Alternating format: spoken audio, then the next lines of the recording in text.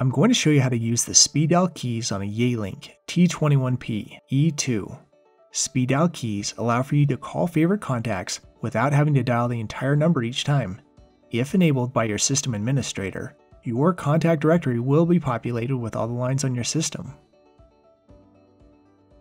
The first speed dial option on your phone is reserved for your line and cannot be used for speed dial. To add a speed dial contact, press and hold the line 2 key. Change the type option to speed dial. Press the down arrow key to be taken to additional options. You don't need to worry about changing the account ID field and can press the down arrow key again. In the label field, enter the name of your speed dial contact. Please keep in mind though that space is limited.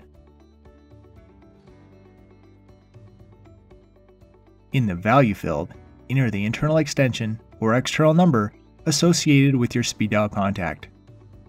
Once completed, press the Save soft key.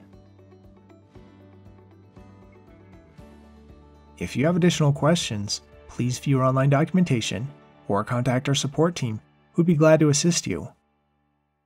Also, don't forget to subscribe to our channel